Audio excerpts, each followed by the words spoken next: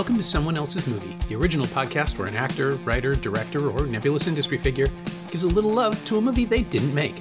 I'm Norm Wilner, I'm a programmer at TIFF now, and this is the other thing I do. Also, TIFF is now. My guest this week is V.T. Nayani, a Toronto filmmaker whose first feature, This Place, stars Devery Jacobs and Priya Guns as young women from very different backgrounds whose budding relationship is complicated by the baggage they carry, and to a lesser extent, by the city in which they live. It's an intimate, piercing drama with tremendously affecting performances, and it makes its world premiere this Friday, September 9th at 8:45 p.m. at the Scotiabank 3. I've also been able to program it in the Festival at Home digital series, and it'll be available there on digital.tiff.net at 10 a.m. Wednesday, September 14th. You should see it.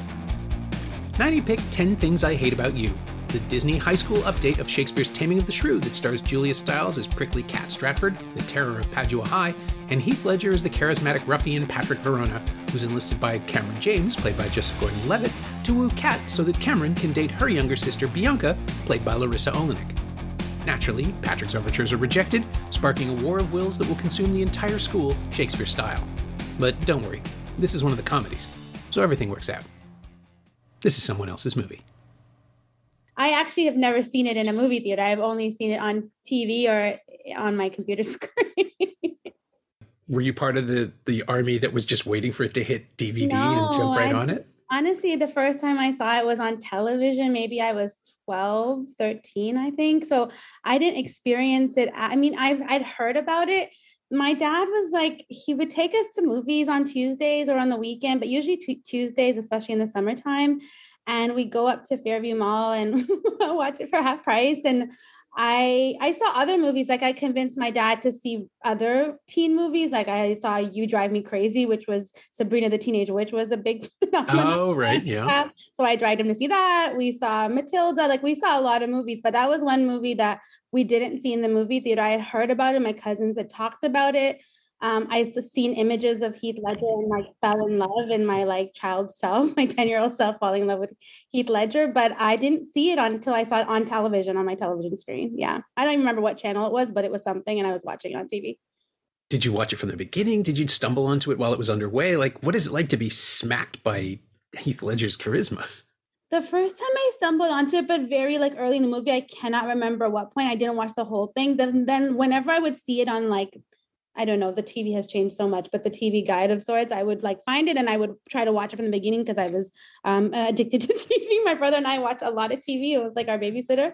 Um, but Heath Ledger, oh man, I mean, first of all, rest in peace. Like, just gave us so much, and I think for a generation of um, young folks and I, across gender spectrum, I think people just loved him, and I think it was the accent. I feel like I hadn't heard that accent before at that age. And the hair, I mean, it changed so much over time. And just, I don't know, there was such a command for him, even at a, as a kid. I'm talking, I was a kid and I was assessing it like a grown up. But I, I think I, when I look back at my child self, I just feel like, or my preteen self, I feel like that was an example for me of like such a command of like the screen. He just felt comfortable. And I rewatched it. I've rewatched it a hundred. I mean, I've watched a hundred times. It's one of those movies that I can watch a bazillion times. And I think every time I'm just like, wow, he just looks so comfortable on screen. Like I buy it. I didn't, you know, I think him, Joseph Gordon-Levitt, I love, like Larisa Oleynik, who I knew from other shows. But it was really Heath Ledger. Like it was just such a groundedness on screen, even for a teen comedy, uh, like romance comedy. yeah, I'd seen him in a couple of Australian films already at that point, but or maybe I didn't actually. Am I thinking of? No, he'd done television or something, right? Um, I think um, he'd done TV. I didn't know anything before that, but when I because I love to do a deep dive on Wikipedia. I'm a deep dive Wikipedia YouTube person, and I can spend hours doing that. And I'm pretty sure he had done TV before that yeah, he was in an Australian film called Two Hands that I want to say played at TIFF, but I could be wrong about that. Okay. Uh, but it followed 10 Things. It was the same year, but it 10 Things came out early in okay. the year and, and um, Two Hands came out later. But I I remember I went to the press screening, like it was a public yeah. preview screening at the Silver City Yonge and Eglinton with like 300 radio contest winners. Uh, and we were all just sort of grumbling because oh, Shakespeare rework, that's never going to be a good idea. And everybody was just sort of down and then it started and within two minutes with a little joke about what Kat's listening to versus what everybody else is listening to it just derails it instantly and and sort of reassures you that everything like you're in good hands and then by the time Patrick is singing on the uh, in the bands in the um, in the bleachers, the whole room is crackling. It's like this is what it was like to watch Julia Roberts in Pretty Woman. Like you're oh. watching a movie star happen happen. Yeah, I mean, you know, I actually when I was younger, obviously I wasn't reading a lot of Shakespeare. So when I, I everybody has that English teacher, right? I think there's like tweets every year that come up about it. I mean, like everyone has that teacher. I remember watching um uh, Quinta Brunson talk about her teacher and creating Abbott Elementary. We always have that like significant teacher that like guides us at a certain point. And I, mm-hmm. uh, Miss Parrish, who was my 10th grade English teacher, and she was like, you know, really picking things from the curriculum that like they were in there, but they weren't being picked by other English teachers. Like we read Their Eyes Were Watching God, you know. I think like she was just introducing us to stuff that normally wasn't introduced to a lot of students in the Toronto District School Board. And she was the first person to say, This is the best adaptation of Taming of the Shrew that has ever been made. And I was like, I don't want to Taming of the. Like I, and then she's like, It's a Shakespeare, you know. And so I just remember that was a pivotal moment. I remember watching in class. She had us watch it in class because she wanted us to watch something that was kind of relatable. Mind you, it was like this came out in 90, 1999. That was like 2003. So it had been some time, but yeah. I just I, I credit her for like making space for that in in like high school English class in like Flemingdon Park and in the hood in Toronto. Like it was just such a wonderful experience and um and I still loved Heath Ledger. I was still in love. oh God, yeah. I mean, we just he's somebody I never got to interview him. We bumped into each other in a hallway during I think it was the year Candy was here, but I mean I I've met him. I had met him. Uh and he's just like this he was uh, my only memory of him were the cheekbones and the grin and just how warm he was. And then just sort of go hey hi mate and walk past in the like just a just a nice guy on his way to an interview. And um and then i did the uh i'm gonna bring it down for a minute. I did the dark knight junket in la uh, and that was probably the most depressing Saturday afternoon of my entire career, uh, just because there was this one idiot in my roundtable who kept wanting to who kept asking every single guest if Heath Ledger died because, and I quote, he was possessed by the Joker. It's just this this guy wanted that story and would not give it up, and you know everybody associated and you could just see how much pain it caused everybody who was being asked. Like christian bale was trying to talk him out of it and maggie gyllenhaal was just like oh don't do that. And um, you know nolan christopher nolan has no idea how to respond to something like this other than to say like to you know like we captured his performance and that's all you need and then gary oldman who i thought was going to hit him uh, ended up just turning on a dime and saying, "No, no, no, no, no. He was a lovely man. He wasn't possessed by anything. He we he was an actor. He would, you know, we would look at pictures of his children and smoke cigarettes between takes, and it's horrible that he's gone. And just this beauty. I, I ended up writing the whole thing. That became the focus of the story, but." I think that was the first time since the news of his death that I realized just how, like, how much of a rotten accident the whole thing was. It just it wasn't an it was an accidental overdose of medication. It wasn't anything deliberate. He was he was in pain, but not like, like that. And yeah. And then you go back and and then you rewatch something like this, and and it was the same thing that happened when, you know, like when David Bowie died. The music won't let you be sad, so yeah. you can just immediately click back into how much fun he's having in this film and how uh, 10 things, not the Dark Knight, but he was having fun in that too. But but uh-huh. he just brought so much to this role and you know, it's a Shakespeare adaptation. This role has been played by literally thousands of people, but I think he's the one. Like he's the guy I think of when I think about Taming of the Shrew now. Yeah, he I, I, I, you know, it's 10 things I hate about. I think there's three memories for me. Like, of course, he's made incredible work over, t- he had made incredible work over time. 10 things I hate about you was my introduction to him. And I just, it was a crush, but it was also captivating. As someone who loves cinema and television and has, you know, since childhood and grew up with parents who loved cinema, I think I just, you know, I grew up on a lot of South Indian cinema. So that was my sure. reference point. A lot of like Mani Ratnam films, socially like conscious, just social justice films, social themes. And so, you know, there were amazing actors that I watched growing up outside of like a North American context. And I think he had the kind of like weight I, I guess i don't know if there's another way to say it even in like this like romantic, sweet, like cheeky kind of role, there was a weight to him. And and I felt it. And I think the second time I remember like seeing him in the theater and i actually this is a story i told the other day which i, I feel really bad about is that like i went to see brokeback mountain with some high school friends and we cut school because we loved we loved both of those actors and sure. i with friends who and at the time you know didn't have the language around homophobia or anything else and had a friend who had been outed in high school. And you know i i was in the theater and they were all like oh we're leaving. Like we can't watch this. And i was like i don't why why does everyone want to leave? And we all took the bus together. We were all expected to take the bus back by our parents and i and i left the theater because i was with people who were uncomfortable and were wrestling with whatever feelings they were wrestling with i can't say for sure i'm not them but i remember watching that film and being like the thing that i remember about him was there's just such a tenderness and and and weight to him that shows up in every role even even in the joker you know and i'm not going to say that lightly but there's those elements show up because I think that's in his eyes and his heart as an actor. And the fact that he was able to bring that to those three and so many other roles is is why people love. And he's one of the people that I was like, when I think like like so many others, when we heard the news of his passing, it hit like it hit like it's someone you know. I think I felt that about other folks, maybe Chadwick Boseman, you know, growing up watching a lot of his stuff over time. But there are a few actors that I feel that way about, and Heath Ledger is definitely one of them. And I think both of them actually carry that kind of weight and tenderness that is that's shared. That is what resonates with people. Yeah, there's something about Boseman. Yeah, Boseman does have it. It's like it's not a playfulness exactly, but it's a no. willingness to be played with. Yeah, like he makes us partners yeah. in the stuff that he's doing. And yeah. Boseman, I mean, even when he did the James Brown movie, which you know the one time it, he looks at the camera is after he's he's assaulted his wife. It's the only time he makes contact with it. And it's a use of that thing that he has where the charisma is just turned off for a second and you can just see how awful this is. Yeah, yeah. oh man. you have a laugh. Like they, they there's there's always a look. It, you know it could be with Boseman when he's looking at Shuri and his sister and making jokes, or or even Heath in this in Ten Things I Hate About You when he just like gives Julia Stiles that look, and it, they they have that look, and that's the look of a leading a leading character that just is here with us to stay forever. Yeah, it's also so incongruous too with him because his voice is so deep and his body is so easy. Like he moves yeah. so lightly. it's just this great conflict where he doesn't sound yeah. like you think he's going to sound, and yeah, then when he starts, him to be either like they the opposite. You expect the opposite of each each part of him, and you're like, wait, this is not adding up, but it works.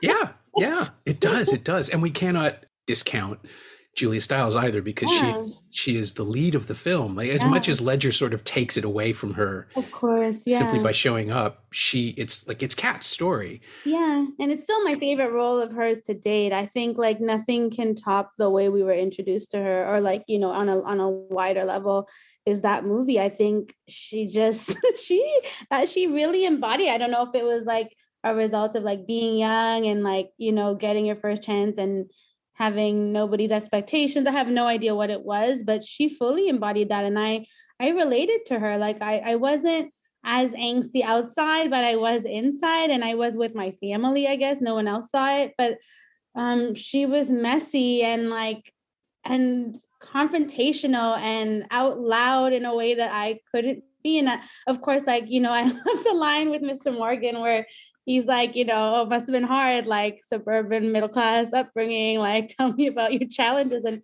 so I, I recognized very early on that she and I were not the same person. But we, we maybe she could be loud in a reason that a way that I couldn't be, or I didn't feel like I could. But I felt seen. I definitely I felt both equally her and Bianca. Like I I think I felt like I was and I think Bianca's trajectory, you know, or changes through the film. I in you know coming into herself in a very particular way i was like oh i feel like bianca but inside of me there's Kat.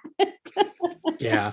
It's funny nobody doesn't connect to Kat and yeah. she's supposed to be off-putting right? That's the thing that the, the the little tweak i think that comes to the film from the play which is that so often um she's not allowed to be funny or she's funny to herself like she's amusing herself the way that she has to because no one else respects her or cares for her. But here, like Kat Stratford's awesome. she she listens to cool bands. she's uh, she's eccentric enough that she understands how people see her and she uses it against them. And she's just she's in control without ever being the shrew from the play, which I yeah. found really really interesting. Because in the back of my mind, it's like, well, that's not right. And right, Petruchio yeah. is an asshole and and Kate's a monster, and that's why they get together. And it's like, no, yeah. these are children. They're young children, and they're experimenting with these personas. And Kat has every reason to be the yeah. way she is. Um, but then every time you see her at home with her family, especially with like Larry Miller as her father, just that whole get the belly thing, you understand why she is who she is in a way that the play doesn't allow because yeah. they're they're fully formed characters by the time the play starts and this is just nuance yeah i just love that like she is a teenager and so like i was that teenager who's like i don't need to date guys i they suck i'm just I, all my friends were dating and it wasn't that i wasn't allowed to or maybe i wasn't i don't know like we never talked about it in my house but um like i was like i don't want to date these dudes that i go to school with and like you know and there was a persona or performance i had in it and and at the same time like dudes aside or guys aside like or others aside i just also deeply crave like attention and tenderness. And and that that is so relatable with kat because when she receives that and like someone makes her feel you know like a good friend or a good partner whoever it is that you're close to and they make you feel say a, a semblance of safety and ease and and care you you open up who regardless of who it is. And and i think she spoke to that part of us that even though like we're angsty and we're angry and we have all these feelings we also like i think as humans like deeply want to be loved in whatever that looks like for us you know? Yeah and it is i mean there isn't a lot of or, or any actually now that i think about it there's no real eh, there's nothing in the film that isn't heterosexual like straight up heterosexual but it's still so open-hearted mm-hmm. that that it hasn't dated in the way that a lot of the films produced around that time was. I mean, there's no queer baiting. There's nobody who's who's shunned or mocked for being different. I guess because Kat is different from the outset, that just sort of gives them the the the buy on that to just move forward. But it has held up so much better than I thought it might have. It's been like 24 years. Yeah, that's wild. And I think about like, I mean, but I think that's also it. Like, it's held up and I think like the way characters, even in the film, like I go back to Mr. Morgan or even Miss Perky, like they, the way they kind of make fun of or like challenge Kat also I think adds to the film and adds to like she's weird, but there's other people who also challenge her angst and her angriness and where does it come from? And you kind of see both sides of it. You see her dad with Larry Miller, you see her at home and you're like, oh yeah, my dad was doing that, that I'd be upset too. And but at the same time, you you know when you have Mr. Morgan and Miss Perky and just like those around her challenging her, you're also like, yeah, I mean, you might be a bit much sometimes, and like there's a balance there, and I think like there is commentary or people checking her, and then she checking people as people are checking her, and I think that's really important. Like I think that's I uh, Kiwi Smith did a great job in that. I think made it a complicated character that even though she feels righteous in everything she's doing, there are people who are like, mm, you could settle down a little bit. It's not you don't have the worst life out there, you know. yeah, no, it's true. I mean, they, by the time we catch up to them, they're all kind of tired of it. Like yeah. they, they've, I, I, yeah, and, and uh, again, Miss, of, of course, Allison Janney is perfect in that role, right? Like you, you look back and it's like, oh yeah, nat- naturally, there was a point in time where Allison Janney was playing small walk-on parts, yeah. but but she does have this little there's a little twist in her performance that says, I know you're not in trouble, yeah. right? Like, I'm just a little tired of you. Yeah, yeah. And just like her at her desk type, like I I mean, as a you know, as a child, I was like, what is she talking about? And then as a teenager, I was like, oh my God, she's talking about that. Now I'm like, that's hilarious, you know? So even the transition of like you said, like 24 years, like I watched it as a kid, I watched it as a teenage, like I, I watched it throughout my life, so to say, like as a child, a teenager, you know, someone in my 20s who thinks she's got it all figured out. Now I'm in my 30s and I'm like, it's still great. Like, and I love that I've watched it in, you know, three separate decades of my life. I think that's really special. that's great. I mean, I was in my wait, I no, I was just about I was 29 when I first saw it. Okay. And it played for me. And you know, that's I'm a good 11 or 12 years out of high school and I still painfully recognize myself in Joseph Gordon-Levitt Um, you? Okay. Yeah. he told me that once. I interviewed him for. We did a cover. Okay. And one of the things that didn't make it into the piece was just like people still come up to him and say, Cameron James. And he's like, I know, I know. you were me in high school. Uh, and he says it's because he's his his his his idea of it was like he was non-threatening but longing, and right. so he's able to express romantic feelings and yeah. be completely harmless. Yeah. Right. Because the whole point of it is he has no power. His like Cameron cannot move forward yeah. and is therefore not a threat to anyone. Um, so he's like he's ultimately as close to a villain as the whole thing has because he sets the scheme in motion. Right. But he's coming from a pure place. Yeah, but we also want him to win at the end too. Like exactly. we want them all to win, and we don't like we're not. Yeah, that's true. I never was like mad at him. Like I, I think there was level of like, oh, he did it not understanding it fully, but being like, or nu- the nuances of, but he did it for a reason and it sucks. And now everyone's upset, but everything's going to work out. Like, I just remember when I was a kid, I was watching, I was like, I'm not mad at him, but damn, like, damn, you shouldn't have done that. And now look what's happening. But like, I want you to win too. and I want you all to be happy. And I think that, that was a beautiful part for me is that, yeah, he was as close to a villain, but he wasn't a villain because he still was a human who was trying to be loved too. yeah. And even, I mean, if you go back to the Taming of the Shrew, the source text, like Catherine is the villain, and she's absolutely not here because we under we're on her like we open with her, we're on her side. Mm-hmm. The the smartest thing the movie does is just make the men the interlopers that they always were, mm-hmm. but in mm-hmm. the play, it's the two of them conspiring about how they're going to win these women and and and take them and run away with them or whatever it is that they had planned that Shakespeare couldn't write about at the time. But but by making them like virginal teenagers it takes all the teeth out of it and it makes it safe as yeah. opposed to something like what was the other one? The one amanda bynes she's the man which oh she's the man. Yeah, yeah. i watched it once. That's one that i haven't watched more than once. No it does not i mean there's stuff in it that's great. Bynes great, is having a lot of fun and yeah. channing tatum amazing yeah. physical comedian even then but you just look at it now and you're just like ooh really? That's that's awkward. And it's just 12th night I mean, yeah. they did that. Yeah. But this found exactly the right way to land it, and I'm just, you know, it's it's a television film uh, director um, making his first feature. I think Gil Junger, who worked on yeah. Ellen DeGeneres' show a lot, and uh-huh. I had no idea that um, that he could handle something with this sensitivity and it's but it's written by the people who made who would go on to write legally blonde and ella enchanted neither of which mm. to my mind has held up i mean i know a lot of people love Elle Woods but this is the one know, that I come speaking back to the wrong person. It's held up for a lot of us, but I get it. Not maybe not not not. I think collectively uh, uh, across audiences, I think it has its audience. Legally Blonde, mm. Ella Enchanted. I I mean, I'm that kid. Like I I still love.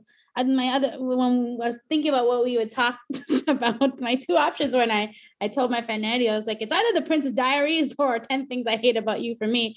And he was like, I mean, that's you, so it makes sense. Like, go for you know. I think like go for it. Like, you know, do what you got to do. I was telling everyone, and everyone's like, just go for it. And so I decided 10 things I hate about you, but I, I could have easily done, I'm Anne Hathaway hive, so I could have done that. Um, oh, she um, was great in that movie. I, and she, you know, just Julie Andrews being her her mom figure. There's That's her it. grandmother, but there's there's no downside. And I'm I'm speaking as someone who got hives from almost every Garry Marshall movie. Um, just come on, man. But uh, Rest in but peace. Yeah, like Ella Enchanted of that time. Yeah, I mean, those are. I am that audience. I don't know. I don't know if I'm the right person. I love all those movies. Um, but uh, that there's just something about this one that it just holds up in a really particular way. And it's like no matter who I talk to, they've seen it, they love it. Like I am a rom com girl. I am like a teen comedy kid. Like you know, still at 34. You know, I'm. I am. I love a good like cheesy, corny, otherworldly kind of love story. And even if it's based in stark reality. And I think this one is one of the rare ones where I can talk to a lot of people about. Like I, I, I Princess Diaries not always going to work, you know, across the board, or even She's the Man, or any of those movies that I love. But this one I can talk to a lot of people about and have a conversation, which I love.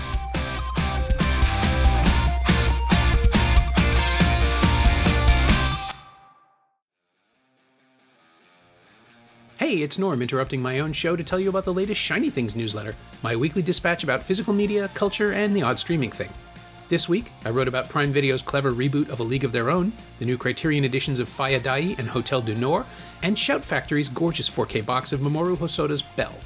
Subscribe for the price of a latte at shiny-things.ghost.io or find a link at the Semcast Twitter account. Did you miss me writing about movies? I did. Come check it out.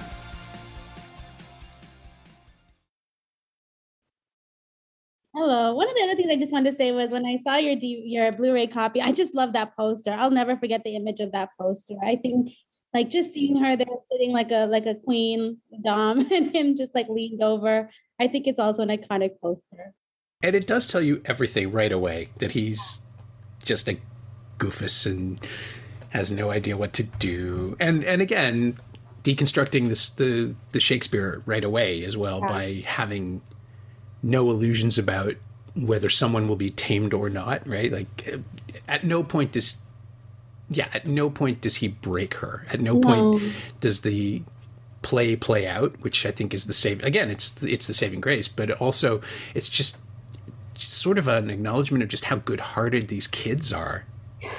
Yeah, I love that. I love at the end. One of my I'll say the last thing is like at the end where like you know, she does her whole these are the, the hate, I hate this, I hate this, and he finds her outside and the guitar's in the car and and he comes up to her and they're talking. He mentions the tambourine and like her drum kit. There's always something else to get her, and she and he he kisses her and then she tries to like start. She's like, "Don't think that," and he just pulls her back in, and you're like, it's so beautiful because it's some you it was a really beautiful depiction of someone loving or caring for you in this for who you exactly are and not trying to change you.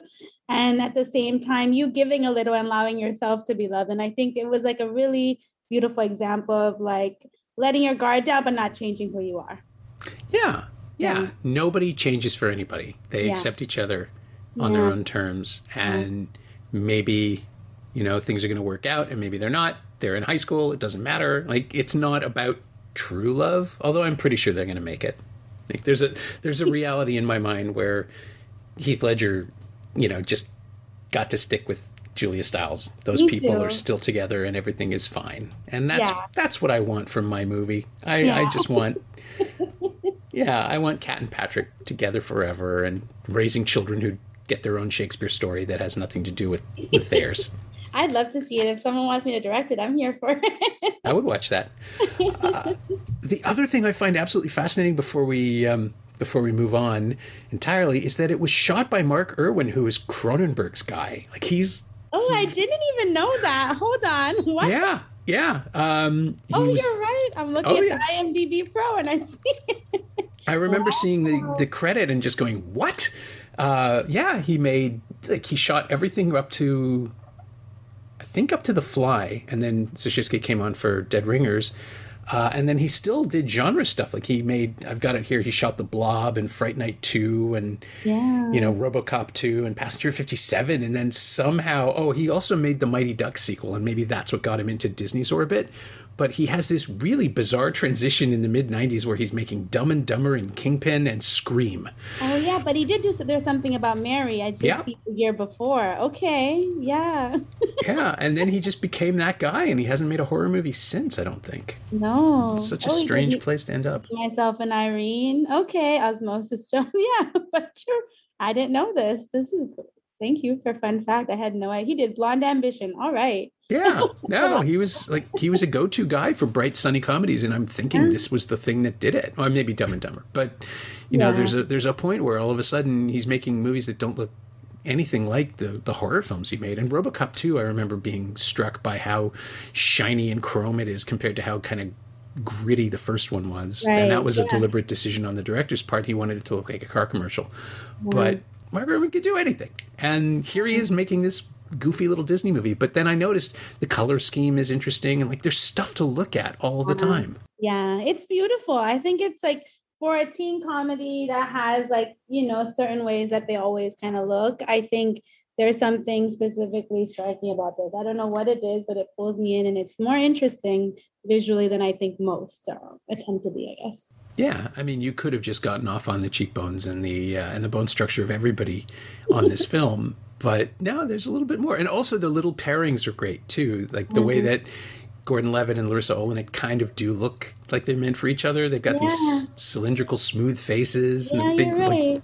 They're very petite in the movie at that age. Yeah. And Yeah. even just like the friendship pairings are really interesting. Like I was when it, I mean Gabrielle Union was doing like all these kind of like part, you know, bit roles and friend or you know, she was also in uh Love and Basketball with Yeah, Steve yeah, yeah. Blythe has come in and you know, she's all, I'm so happy to see her in starring role, but I'm like, wow, you just you haven't aged, number one. you just look the same. But like just seeing um these people who now have had these long careers that have gone in all these different directions and it's exciting like it just it feels so much a part of my life this movie i don't know what else to say i couldn't be further from my life but it feels like it's part of my life it's nice. yeah And so we can talk about how, you know, or what of what of your life has informed your own work. Uh, Yeah. Usually, the the pivot on the podcast is with I ask somebody how or if the movie they're talking about has has been part of or, or has influenced their own work. I'm not seeing a lot of contrast. I'm not seeing a lot of connections between Ten Things and, and this place, but there is a sense of stories having started before we get there. yeah uh, and that's like the the characters are informed by their pasts, and that becomes a, a crucial aspect of your film. But in a way that that's the only thing I can connect it to. Oh well, I would say like when I look at this place, like the you know the two character, I keep I'm like I kind of want to do like online poll, like are you a Yosta or are you a Malai? And I think Yosta I think is the part of me that people see maybe, and then Malai is like you know the things that I am, and I think Malai is that kind of.